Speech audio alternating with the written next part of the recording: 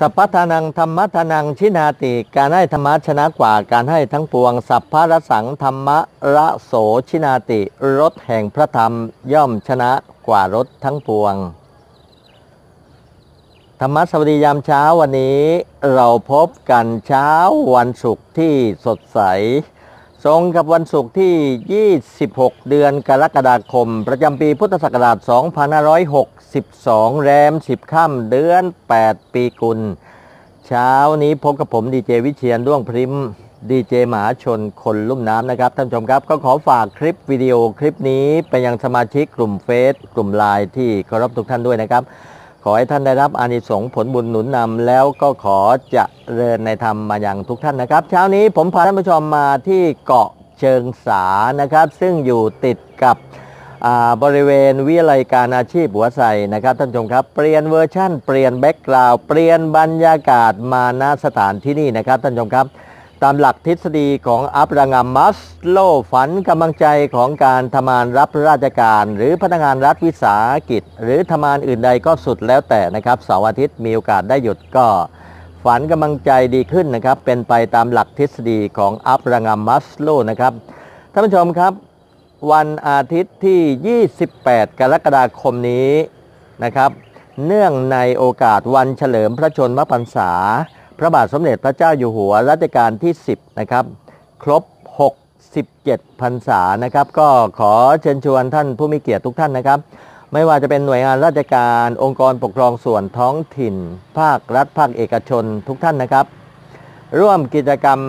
นะครับร่วมกิจกรรมดีๆ ที่หน้าสำนักงานเทศบาลตำบลหัวไซอำเภอหัวไซจังหวัดนครศรีธรรมราชมี 3 กิจกรรมด้วยกันนะครับ วันอาทิตย์ที่ 28 กรกฎาคมที่จะถึงนี้นะครับ ช่วงเช้านะครับเวลา 7 โมงเช้านะครับขอเชิญชวนพุทธบริษัทท่านผู้มีเกียรติร่วมทำบุญตักบาตรเพื่อถวายเป็นพระราชกุศล ที่หน้าสำนักงานเทศบาลตำบลหัวไซนะครับ ก็จะมีพระคุณเจ้าจาก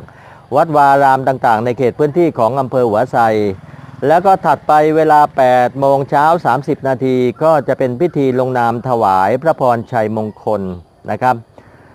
ซึ่งประธานในพิธีท่านนายอำเภอวิทยาเขียวรอดนะครับ ก็เป็นประธานในพิธีลงนามถวายพระพรชัยมงคล แล้วก็ช่วงภาคตอนเย็นนะครับ เวลา5โมงเย็น5โมงเย็น 30 นาทีก็จะเป็นพิธีถวายเครื่องราชสักการะบูชา และพิธีจุดเทียน ถวายพระพรชัยมงคลนะครับ ก็ขอเชิญชวนทุกท่านนะครับ ร่วมกิจกรรมดีๆ อย่างนี้นะครับ เพื่อถวายเป็นพระราชกุศลท่านผู้มีเกียรติที่เคารพทุกท่านนะครับ งานหัวไชยสัมพันธ์ครั้งที่ 46 งานหัวไชยสัมพันธ์หัวไชยสัมพันธ์ครั้งที่ 46 เราพบกันปีละหนึ่งครั้ง เพราะเราเป็นคนหัวไชยด้วยกันนะครับ เพราะฉะนั้นประธานจัดงานหัวไชยสัมพันธ์ครั้งนี้ก็คือพันเอกเดชชาติบุญแก้วสุข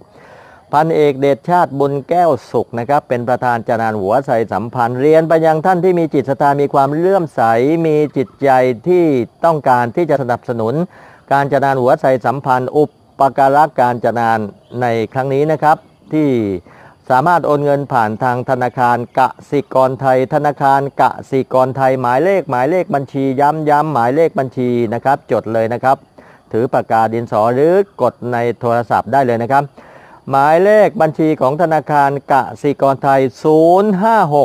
8034 856 ย้ำอีกครั้งหนึ่งครับ ช้าๆ เพื่อท่านจะได้จดทัน หมายเลขบัญชีธนาคารกสิกรไทย 056 8034 856 นะครับ ถ้าท่านดูคลิปก็รีเทิร์นใหม่นะครับ ซึ่งเจ้าของบัญชีก็คือผู้ช่วยศาสตราจารย์ ดร สุภคนันทองใสเกลี้ยงนะครับ เป็นรองอประธานการจัดงานหัวใจสัมพันธ์ครั้งนี้นะครับ ฝ่ายการเงินนะครับ ก็ขอเชิญนะครับสำหรับผู้ที่ อุปการะการจัดงานหัวใจสัมพันธ์ในครั้งนี้นะครับ วัตถุประสงค์ในการจัดงานครั้งนี้เงินทุกบาททุกสตางค์หลังจากหักค่าใช้จ่ายแล้วก็จะนำไปซื้ออุปกรณ์ทางการแพทย์นะครับ ที่ยังขาดแคลนอยู่จำนวนมากทีเดียว มอบให้กับโรงพยาบาลหัวไสนะครับ มอบให้กับโรงพยาบาลหัวไสนะครับ เพราะฉะนั้นบุญกุศลครั้งนี้ที่พี่น้องชาวอำเภอหัวไสและท่านผู้มีเกียรติ ได้มีโอกาสร่วมทำบุญร่วมกันนะครับ ชาติหน้าเราจะต้องได้เจอกันอีกนะครับ เพราะฉะนั้นการทำบุญเป็นการสะสมคูปองบุญ เป็นการสะสมสเสบียงบุญนะครับ ที่จะตุนไปสู่สวรรค์เมื่อเราละสังขารจากโลกนี้ไปแล้วนะครับท่านชมครับในทางพระพุทธศาสนา เพราะฉะนั้นหลายคนนะครับที่ตั้งใจจะโอนเงินผ่านทางธนาคารส่งทลิปมาให้ท่านอรองประธานผู้ช่วยศาสตราจารย์ดร สุภกนันท์ทองใสเกลี้ยงด้วยนะครับ จะได้ลงบัญชีจะได้จด จารึกไว้ และก็ส่งไปให้เท้าสกัดเทวราชที่อยู่บนสวรรค์ชั้นจตุมหาราชิกาภูมิ ซึ่งมีเท้าโลกบาลทั้ง 4 ไม่ว่าจะเป็นเท้าทศรถเท้าวิดุนก วิรูปักษ์เท้าเวสสุวรรณนะครับ เป็นผู้ปกครองสวรรค์ชั้นนี้ท่านผู้ชมที่เคารพทุกท่านนะครับเออก็ถือว่าเรามีโอกาสได้ร่วมพบป่าสังสรรค์ด้วยกันนะครับ วันอาทิตย์ที่ 6 ตุลาคมที่จะถึงนี้นะครับ เพราะฉะนั้นงานหัวใส่สัมพันธ์จัดที่ แหล่งชุมนุมกรมยุทธบริการ หรือสโมสรกองทัพไทยนะครับ จัดที่เดิมนะครับ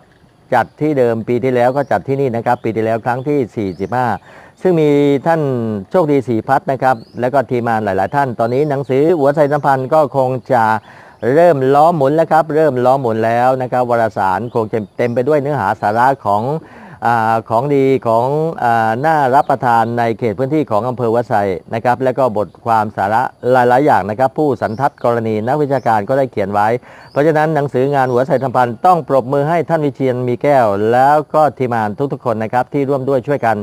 ในการจัดทำหนังสืออย่างมีคุณภาพครั้งนี้นะครับ เพราะการจัดงานแต่ละครั้งต้องมีค่าใช้จ่ายมากมายทีเดียว ไม่ว่าจะเป็นค่าสถานที่ค่าอาหารค่าแสดงค่า จะทำหนังสือและค่าใช้จ่ายเบตเตเล็ดมากมายนะครับ ท่านผู้ชมครับต้องขอขอบคุณ รองศาสตราจารย์ฟองเกิดแก้ว คุณยุวดีเกิดแก้ว แล้วก็นาวาเอกพิเศษนิยมมีชัย ท่านวิชิตนาวาโทวิชิตชูเมืองและทุกๆท่านแหละครับ บุคคลสำคัญในแวดวงของชมรมชาวอำเภอวัดไซนะครับ ท่านผู้ชมครับ มาเรื่องตลกมาเรื่องตลก มาเรื่องตลกมาเรื่องตลกหลายคนอยากฟังเรื่องตลกแล้วใช่ไหม ใช่ไหม ตามผมมาดูตามผมมาดู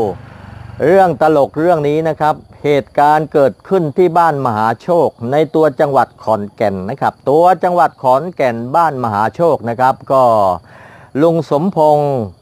แวะมาเยี่ยมลุงสำราญนะครับ เพื่อนเก่าเพื่อนซีที่บ้านมหาโชค จังหวัดขอนแก่นนะครับภาคอีสาน หลังจากที่ลุงสมพงษ์กับลุงสำราญแล้วครับ เป็นเพื่อนซีเพื่อนเกลอกันมานานแสนนาน แต่ไม่ได้เจอเจอกันมานานเป็น 10 10ปี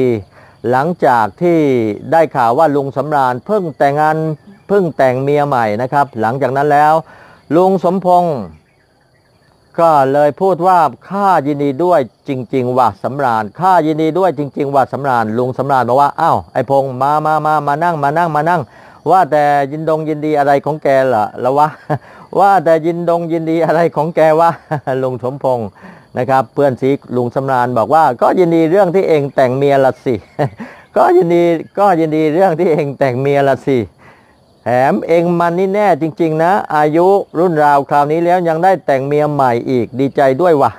คุยกันสองคนเพื่อนฝูงนะครับลุงสำราญบอกว่าถอนหายใจยาวเฮือกเฮ้อดีใจอะไร ยินดีอะไรของแกว่าพูดถึงเรื่องนี้แล้วช้ำใจว่ะ พูดถึงเรื่องนี้แล้วช้ำใจว่ะลุงสมพงษ์อ้าวเป็นไรไปเหรอ ข้ายังได้ข่าวว่าเมียใหม่ของแกน่ะ แม่เจ้าโว้ยทั้งสูงยาวขาวอวบเสียด้วยซ้ำไป จากนั้นลุงสำราญบอกว่า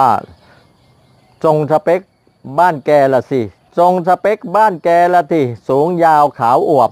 อย่าไปฟังข่าวลือ อย่าไปฟังข่าวลือมากนัก จะดีกว่าแถมสูงยาวขาวอวบนะครับ ก็หมายถึงไอ้ที่ว่าสูง ก็คือมันสูงอายุนั่นเองมันสูงวัย ไอ้ที่ว่ายาวก็คือสายตามันก็ยาว เพราะแก่แล้ว ส่วนที่ว่าขาวก็ไม่ใช่ผิวหรอกนะไอ้ที่ว่าขาว มันเป็นผม